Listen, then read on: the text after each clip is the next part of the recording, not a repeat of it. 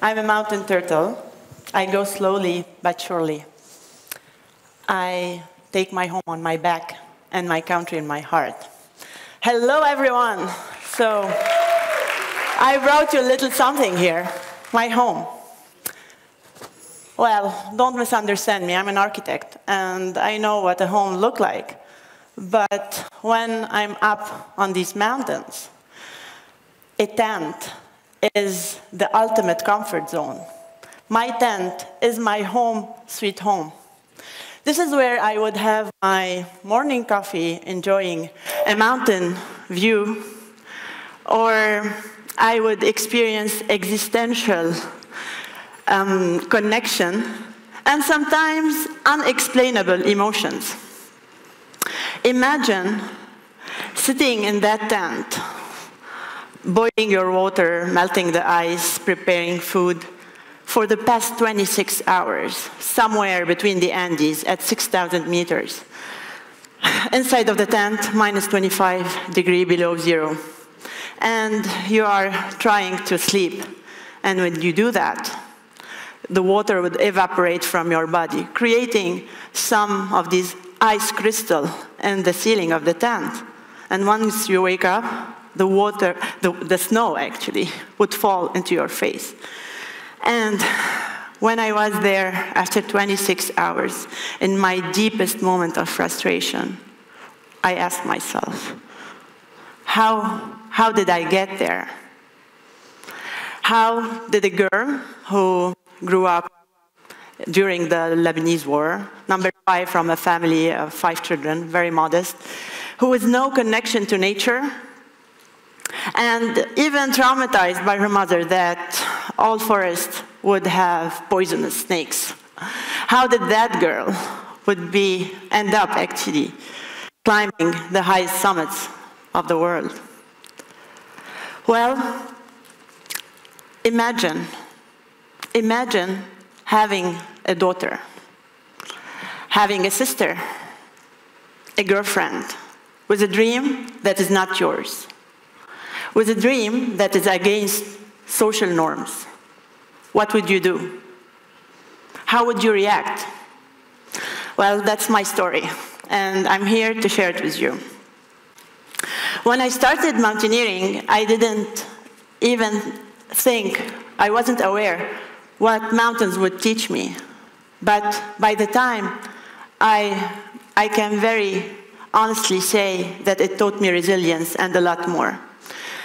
See, you never know where life would lead you. I never thought that my life would lead me to mountaineering or even conservation architecture. It was totally accidental. What I had was the love of exploration, the curiosity to learn, and a huge imagination to dream. And so it wasn't really about mountains. It was about a passion, about this excitement and the child in me to travel the world, taste new food, experience new cultures.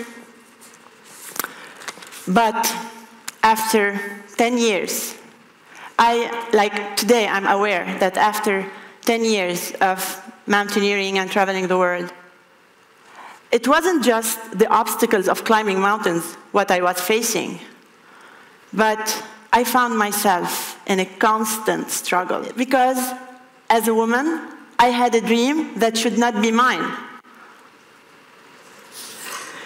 And the mountains were there always to lead me, to teach me how to overcome these obstacles. And it taught me these three valuable lessons that I would like to share with you. Lesson number one learn when to climb down.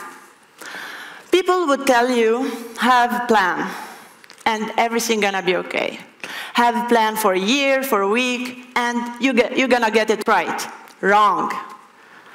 Up there, on these mountains, a plan is nothing. Many plans are everything. So, and I want to share here two stories with you. So in 2009, after climbing a few mountains around uh, the Alps specifically, I decided to take it to the next level and joined a team of mountaineers, all men, and to climb Cerro Aconcagua. Cerro Aconcagua, the highest summits of South America, 6,962 meters. And while after 14 days on the, on the summit, actually, sorry, after uh, 14 days climbing the mountains, we got to Cholera Camp, 6,000 meters, just before the summit. I was one day before the summit. And on such summit day, as we call it, we mountaineers, we wake up really early at 1 a.m., start to prepare myself. I felt a little bit weird. My body isn't like the same, but it was minus 25 below zero in my tent, and I was on 6,000 meters, so it's okay. I continued preparing myself, and just at the moment where the guy, when the guide asked us to leave at 4 a.m., I didn't. I just found out that I had my period. Well, you know, for as a woman, it was a moment of frustration. For sure, it wasn't expected, but um, having your, your period at that moment, that time, it, I felt so weak. I felt the most unfortunate, unfortunate person, woman, on earth.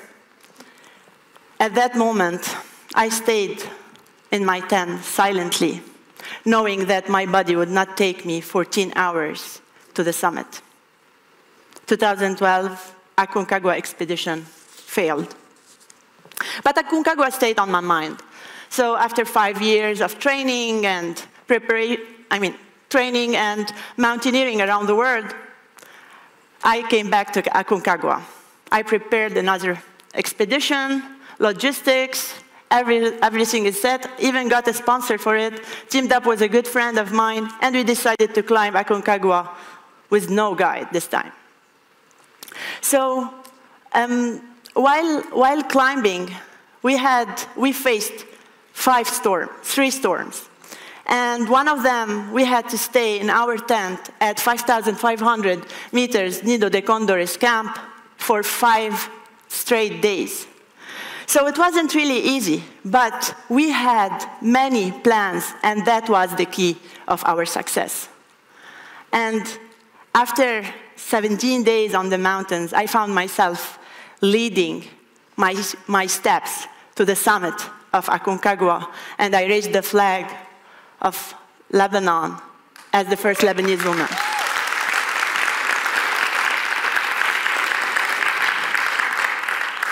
2017 Aconcagua expedition succeeded.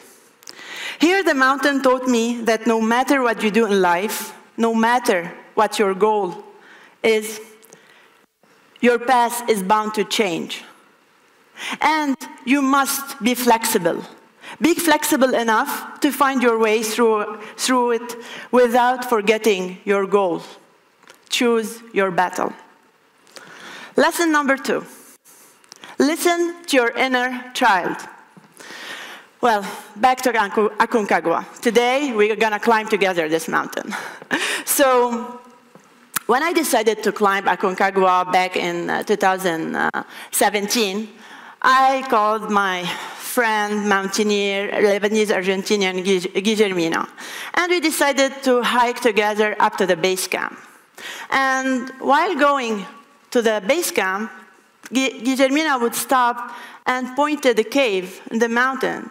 And, and she said, Joyce, in, this, in that cave, six years ago, a group of mountaineers found a body of a boy that was sacrificed by the Incas.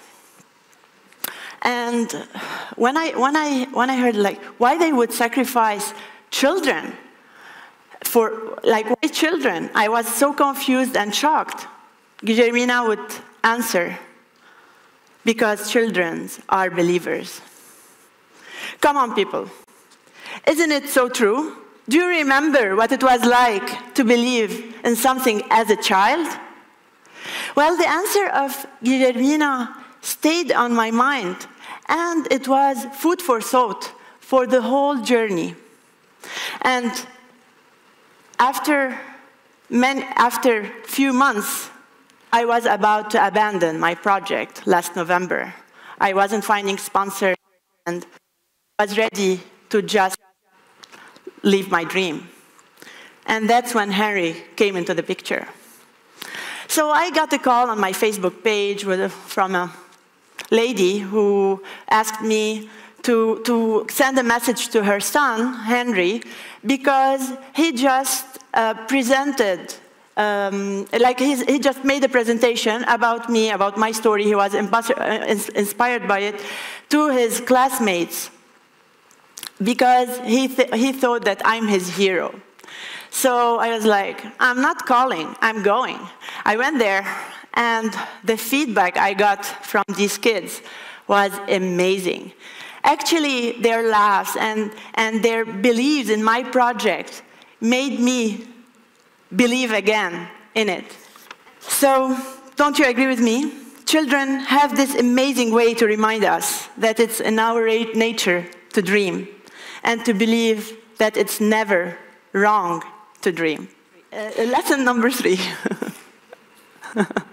Don't categorize yourself.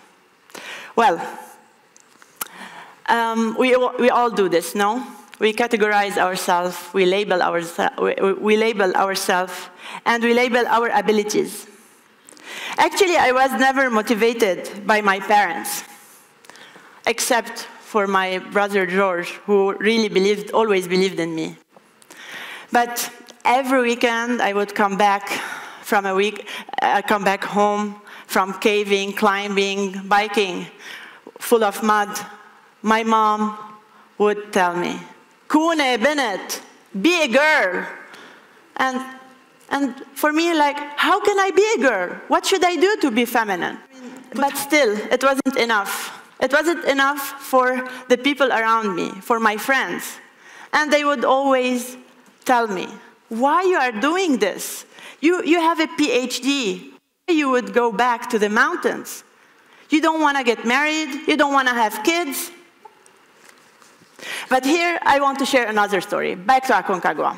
And back to my climb in 2012. I was at the base camp preparing the, uh, the, the loads to carry it to the higher camps.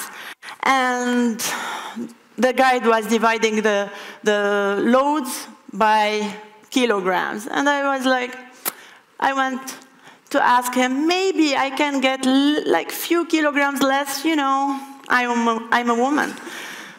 But the guide would take a moment and he looked at me. He said, Joyce, on a mountain, there's no man or woman. There's a mountaineer. I am a mountaineer. The, the mountains taught me to reinvent myself as an architect, as a daughter, as a PhD holder, as a mountaineer. And now they are leading me to be the first Lebanese woman and the second in the world to complete the Explorers Grand Slam.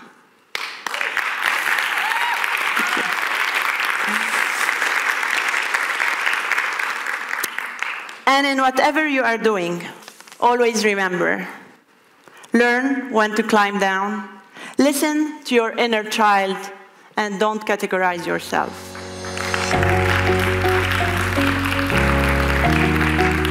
If a turtle climbed the highest summits of the world, what can you do? Thank you.